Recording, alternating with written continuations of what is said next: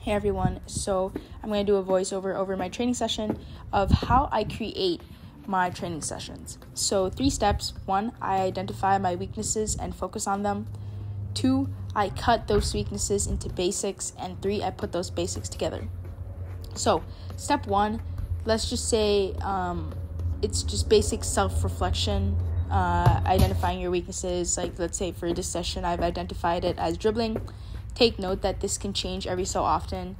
Like sometimes you're sharp on first touch, sometimes you're not so sharp on first touch. So just self reflect on that.